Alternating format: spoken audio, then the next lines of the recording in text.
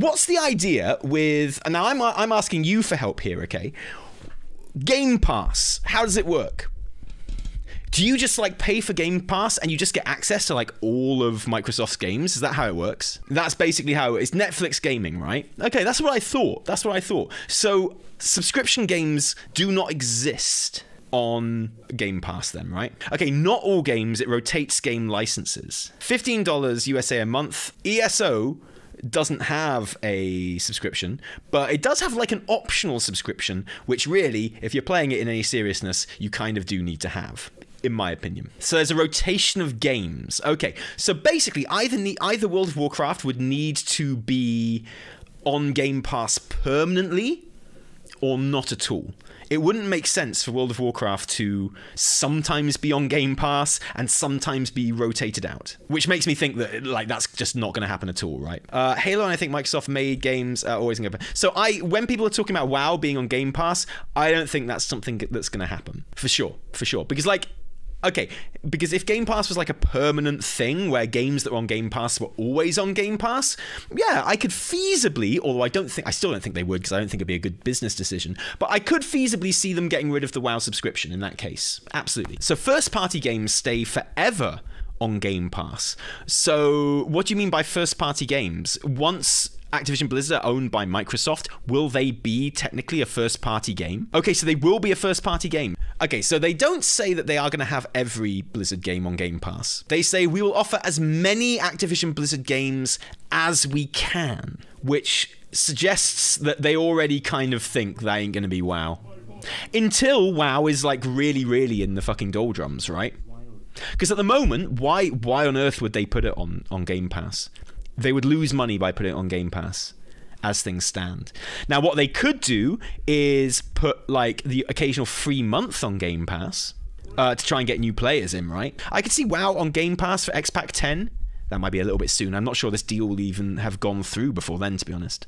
Uh, Diablo 4 seems to be a shoe in for Game Pass. Yeah, exactly. So, what you want is a game that doesn't necessarily have expansions uh, and doesn't have traditionally like a subscription model, but does have potential for a shit ton of microtransactions. And that's exactly what Diablo 4 is, right? The way I see it, they will offer WoW with Game Pass. That way, everyone that wants to still play will buy Game Pass. And it's a better deal for the player as we get access to a huge library. And to me, uh, it won't matter if they get the sub from WoW Sub or from the Game Pass. Yeah, but they could have both.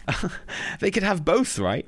Uh, more microtransactions, no separate sub, more gamers. Are you giving that as a good thing, Suguzi? Are you giving that as a good thing?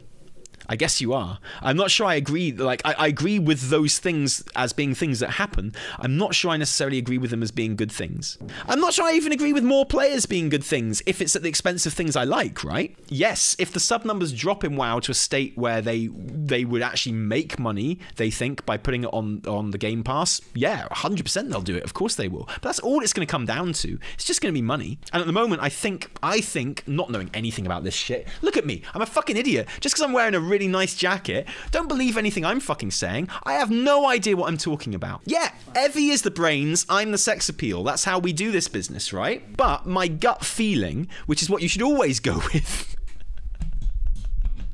is that at the moment they would be losing money by putting uh, WoW on Game Pass, right? I mean, if you think they'll make more money by putting it on Game Pass, then yes, absolutely, they'll put WoW on the Game Pass. Of course they will. If there is a golden goose in gaming, Subscription live service games are it. MMOs are one of the most expensive games to make. They are like one of the most risky games to make. Like how many successful MMOs are there? Basically none. And yet, company after company after company are willing to throw massive amounts of development time and money into trying to get a successful subscription MMO. Why? Because it's a fucking golden goose. And right now, WoW is a golden goose. Final Fantasy XIV is a golden goose. They are not going to shit on their golden goose until they make more money by doing something else. Yeah, maybe they'll have some kind of package. Yeah, yeah, exactly. Battle passes are easier to integrate into your game than a subscription, for sure.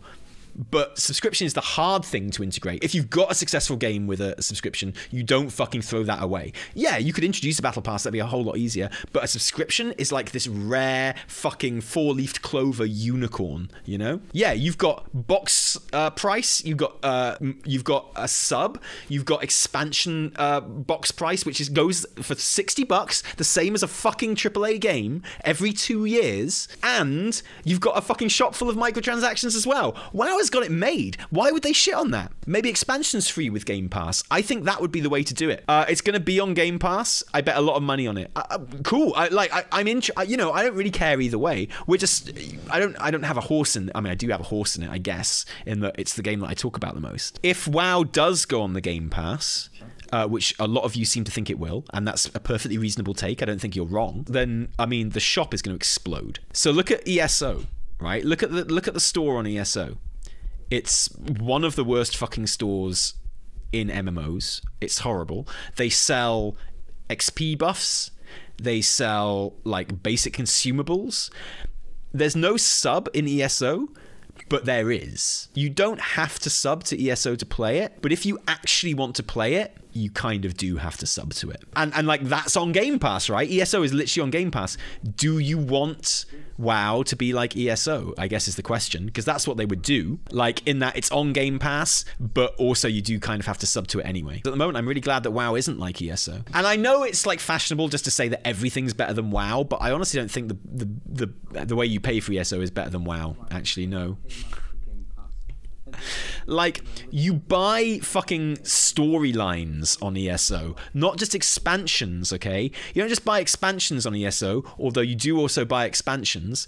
You buy literal storylines. ESO is the way that way before uh, Microsoft bought it. Okay, fair enough, good point. But do you think they wouldn't use it as a base? Like, we're, we're trying to uh, speculate what, what uh, an MMO would look like on Game Pass, and I don't think it's like unreasonable to look at an MMO which is on Game Pass. But I don't think it's unreasonable to look at MMOs that are on Game Pass when you're speculating what WoW would look like on a Game Pass. I think the store would explode, but only cosmetics, no power. Oh, Palindar, don't play ESO, you'll shit yourself. I, I hate to break it to you, but if WoW goes on Game Pass, there absolutely will be player power items on the store. I think they analyze the Blizz community. They don't need to maximize profits. They probably have more to win building up goodwill. Okay, just out of interest, and uh, just a, a quick straw poll in the chat here. Who do you think is more likely to care about goodwill for a singular game than short term money? A company that has a hundred games under their umbrella or a company that has 10 games under their umbrella and put 100 or 10 in the chat who um who's going to care more about the goodwill towards a single uh, ip it's a dumb question right because the answer is obvious. So why is selling to Microsoft, who now own like literally hundreds of titles, why would they care more about goodwill than a company that has less games? A hundred because they can afford it. Interesting take. We'll find out. You know, this is the good thing. We can speculate this now, but the great thing is this isn't like a WoW expansion. This isn't like a WoW storyline. We will get an answer to this. And I guess we'll find out. What do you think of this pushing WoW for Xbox port? As 14 is PlayStation console exclusive, if I'm not mistaken. Why not? Like from what I understand, uh, 14 works really, really well on on consoles.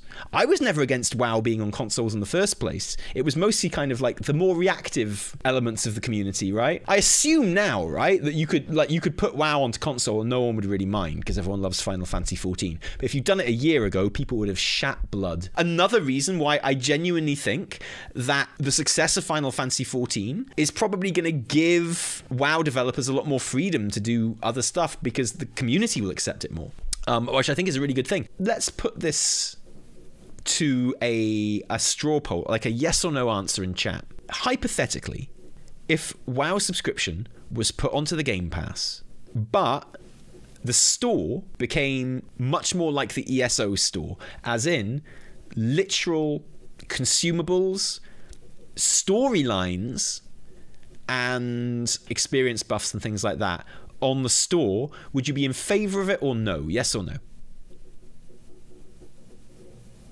I think most people are saying no. The vast majority of people are saying no. Well, I think that's something to bear in mind, right?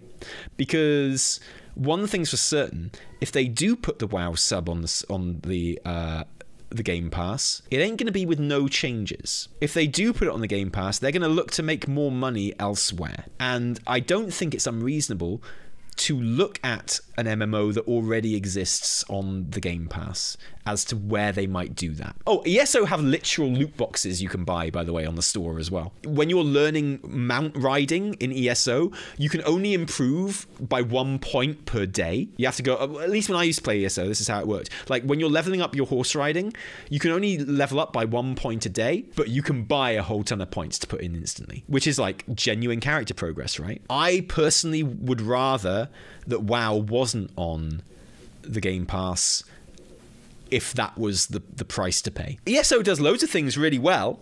Of course it does. But then you're just talking about basic game design.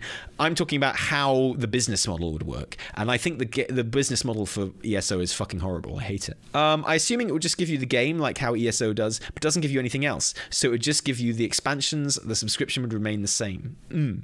Oh, okay, right. Okay, so you'd still have to sub to it. Okay, so what? Yeah, okay. Oh, ESO removed the loot boxes when Microsoft bought them. Are you sure you can't get loot boxes in ESO anymore? I, I mean, I believe you. I feel like I saw them there quite recently. Maybe I'm wrong. I, look, I'm happy to accept I'm wrong, and that's good news, right? I'd be. There are still crown crates. Yeah, the ones where the Khajiit guy is sitting on the box and he's like, "Yo, give me some crowns and open the box." That's what I'm talking about. Yeah, those are still there, right? Mm-hmm. Yeah. Okay. No, I, am still right then. That's okay. Well, that's not okay. That's bad. I, would rather be wrong, honestly. What I don't want to see is WoW's store becoming like the ESO store. I really don't want to see that. Like for me, the the horse leveling thing is like the most objo- uh, obnoxious fucking thing I've ever seen in my life. Like you can you can only increase your horse riding by one point a day. I just went to the store and I fucking bought it. Oh yeah, there are advantages to have it on Game Pass for sure, and attracting players, new and old, is definitely one of those advantages. No one's denying that. I think there's reason to be hopeful like genuinely. I know that a lot of people shit on the business orientated side of Blizzard and of WoW, and I think that's fair enough.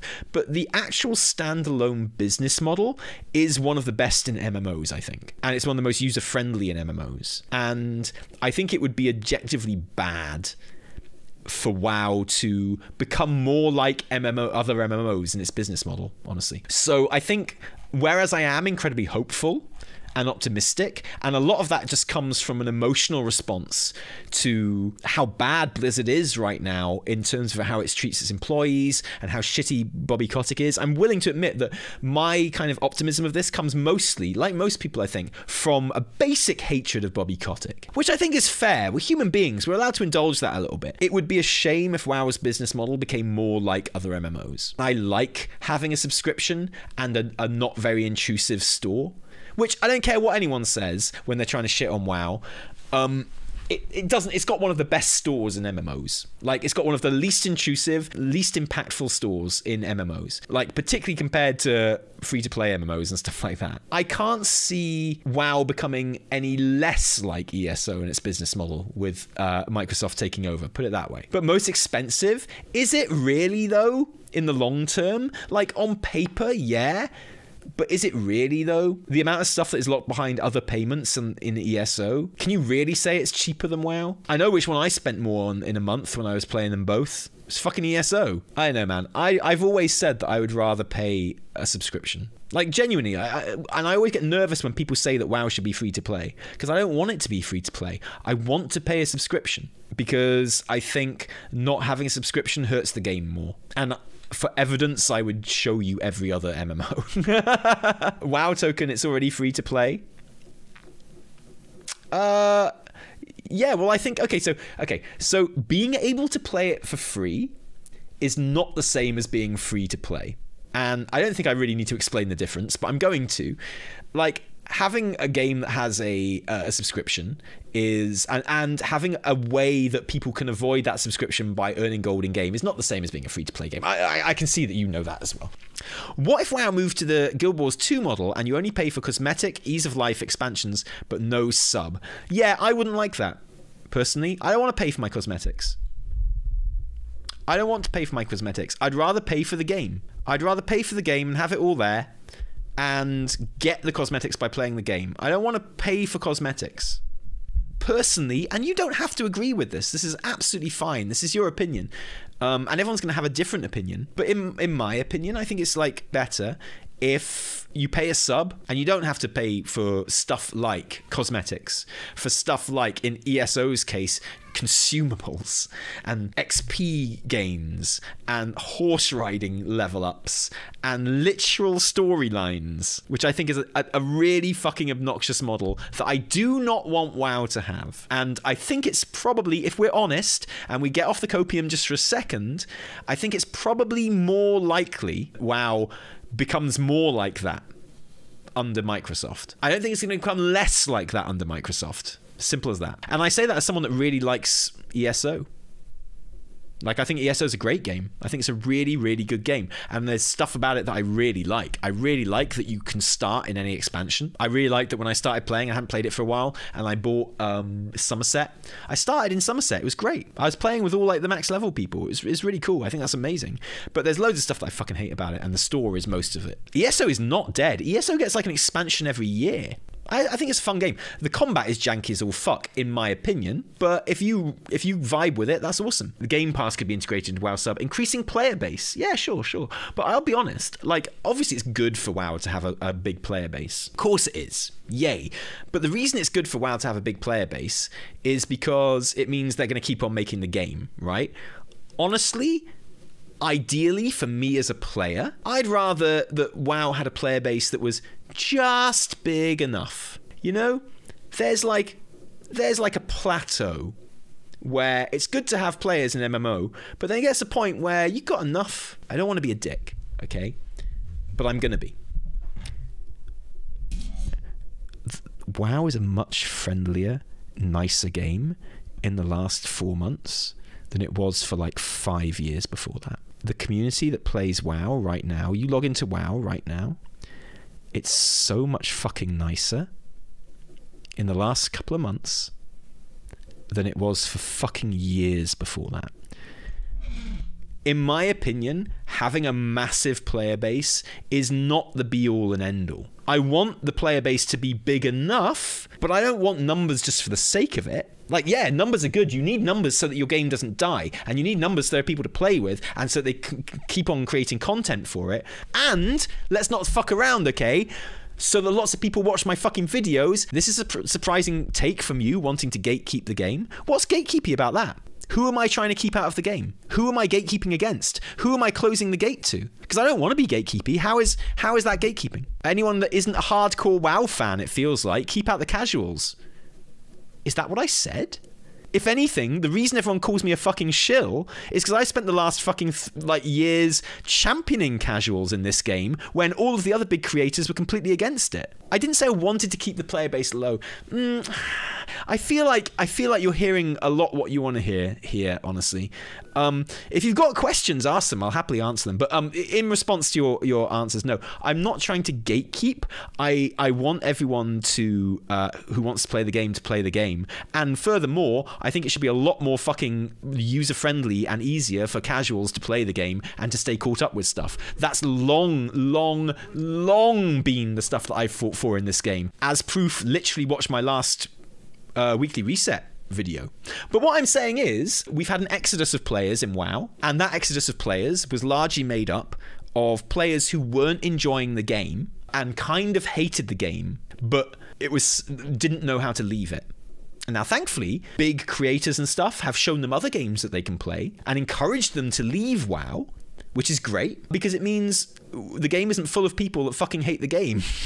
And I think that's good, right? I don't think that's gatekeepy. I'm happy for them because they enjoy their lives better. They enjoy their gaming experience better. Like, I think it will make them enjoy WoW better as well. Like, I've always, one of the reasons I'm, I'm always so, like, um, enthusiastic about WoW, and one of the reasons I always enjoy WoW so much is I've never ever played WoW as my only game. Never ever in my entire life has WoW been my only game.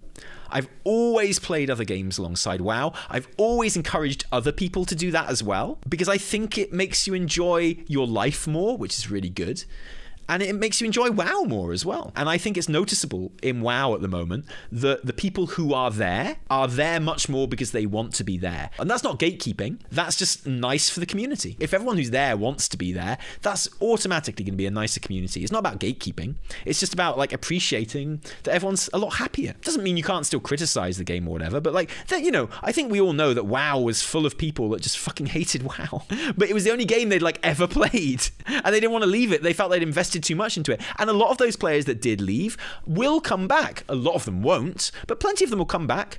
You know what? You know when I enjoy WoW the most? You know, there've been a few occasions like recently in the last few months where I've been like, fuck, WoW's awesome. And you know when those occasions have been? Been when I've been playing Final Fantasy XIV for 20 hours. I play a bunch of Final Fantasy XIV, and then I log into WoW, and I'm like, holy shit, this feels amazing. This combat is so fucking smooth. Oh my god, it feels so good just to move my character around. It's incredible. I love this. And then I play WoW for a whole bunch of time, and then I go and play Final Fantasy XIV. I'm like, holy fuck, this is brilliant. Oh my god. This story is being delivered so well. My character is so weeby and awesome. I'm wearing a fucking knit sweater. This is incredible. My life is so good. And then I go and play FIFA, and I'm like, oh, I love FIFA. And I come back and I play WoW again. I like it. Like, genuinely, it's just nice to be happy with the game you're playing. And I think we got to a stage in WoW where a whole bunch of people weren't happy. Now, am I saying that's a fault on their part? Fuck no. It's a fault with the game, right? But I've always recommended that if you didn't enjoy the game, don't play it. And that's not a kind of like, oh, you're criticizing the game, just don't play it. That's not to undermine any criticisms that you have. That's not to dismiss any criticisms you have. But honestly, your mental health and your enjoyment of your life is more important than making WoW a better game. It's not your job to make WoW a better game. Just don't play it if you don't like it. Honestly, it's fine you you will be happier and that's what's important your happiness and your quality of life and your like mental health and your enjoyment of video games in general is more important than trying to make WoW a better game. Who gives shit? It's just some fucking video game. Just don't play it. Play another game. You know? And always watch my videos. Watch my vids. Watch them all the way through. Then share them with your friends. Put on the bell. Put them on Twitter and say, hey, this is good. And then go into Discord and say, hey, have you seen Taliesin's new video? Fucking boss, man. He's got such good takes and a nice jacket.